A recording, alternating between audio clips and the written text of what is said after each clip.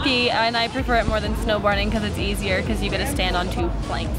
A snowboard. Uh, it's just nice because you can get out of town, like go to the mountains for the weekend. You know, it's just nice. Get away. I like skiing because it's um, it's the hip thing to do. You know, everyone snowboards now, and I mean, I've actually tried snowboarding before. I skied for eight years and then tried snowboarding for two. Really hurt myself and decided it was really crappy. So I decided to go to skiing. I do a little bit of both, but I'm really, really good at skiing.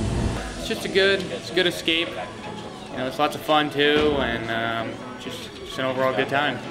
I mean, it's just more fun. You can go faster. You know, you have more versatile versatility.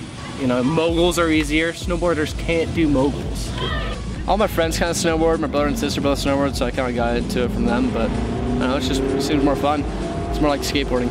I snowboard and I used to ski.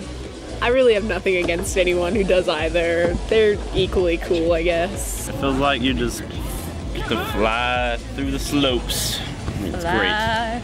Just hitting the mountain with your friends. Oh, just having a great time in that fresh, snowy powder. The sun.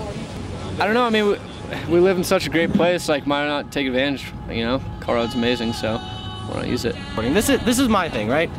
Skiing is easier to uh, start out. You know, it's easier to, for beginners, but it's harder to master. Snowboarding, on the other hand, is the opposite of that. It's harder to begin with, but it's easier to master in the long run. So really, it's up to you what you uh, what route you want to take. So this spring break, Palmer, head on up to the mountains before all the snow's gone.